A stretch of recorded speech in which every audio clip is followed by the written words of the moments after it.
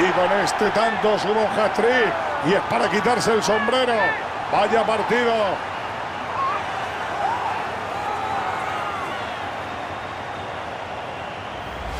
Menudo temple hay que tener para definir de esa manera, ¿eh? Y cómo nos gustan a los aficionados estas vaselinas, aunque seguro que a los porteros no les hace tanta gracia.